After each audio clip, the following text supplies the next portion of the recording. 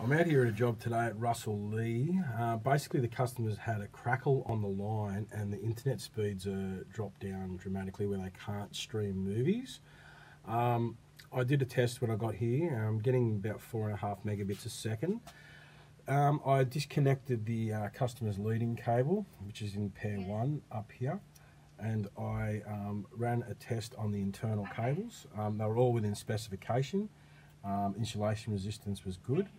But then I did a fast test um, with this disconnected, so it was testing only the network and it failed the fast test. So I'll do the fast test now and just show you and you can see the results. DC tests have been completed on this line. The DC test results are outside specification. To hear the results, please wait. To disconnect the call, press 9 or just hang up. The A-wire foreign battery to Earth is 0 volts. The B-wire foreign battery to Earth is 0 volts. The A to B wire capacitance is 0.33 microfarads. The B to A wire capacitance is 0.29 microfarads. The A to B wire resistance is 1,500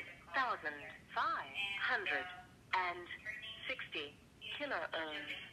The B to okay. A wire resistance is 10,000 Hi, how are kilo ohms. The A wire I'm insulation thank you. I'm fine, resistance to earth is 1,652 kilo ohms. So our landline The B wire insulation Um, resistance to not so much earth is my switch 10 is very crackly. mega ohms. can't take calls, and the To repeat the results,